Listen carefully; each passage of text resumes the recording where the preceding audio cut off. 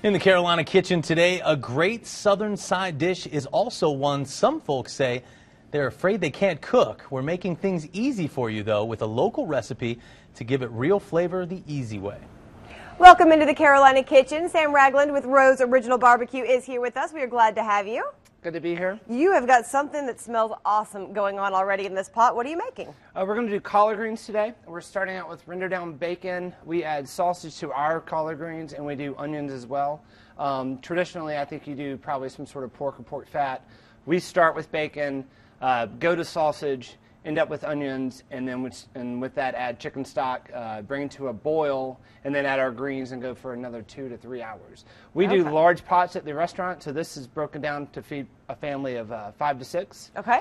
Uh, we started off with about a quarter pound of bacon, um, and then about a foot of sausage. So what we're going to do is Any particular bacon or sausage? I mean, what we are we do apple in here? smoked. I mean, you can do just about anything. The the milder, uh, I'm sorry, the more mild flavors or the um, fruit woods. So any kind of apple or cherry would actually t- make it taste a little less uh, woody or Okay. smoky.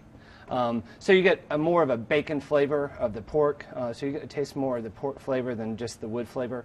Um, so we do an apple smoked. Uh, we render that down, and then we add about a foot of sausage to that.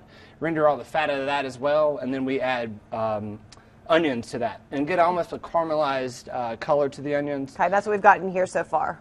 And so once we get to that point, we're going to add. This is two cups, and we're going to do four cups of chicken stock. And what we're going to do with that, we're going to add a tablespoon of kosher salt. With the black pepper, I like to do about a teaspoon, as well as one bay leaf. Um, and then we're going to bring that up to a roiling boil. And once we achieve that, um, we'll add our greens to that, and then we'll let it go for another.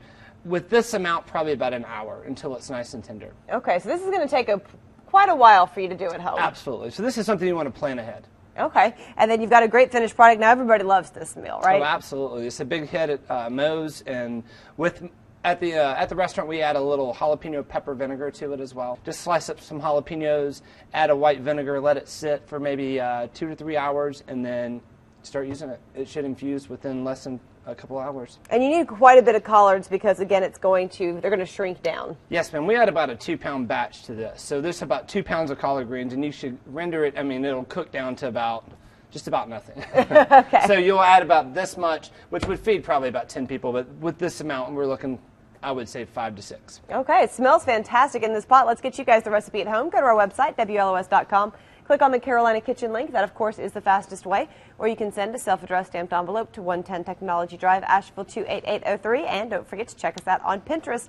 Moe's Original Barbecue here with us. Collard greens. It looks fantastic, smells awesome. That bacon doesn't hurt, right? Uh, not at all. all right. Sam, thanks so much for being with us. And Thank that- you. And that's what's cooking in the Carolina Kitchen.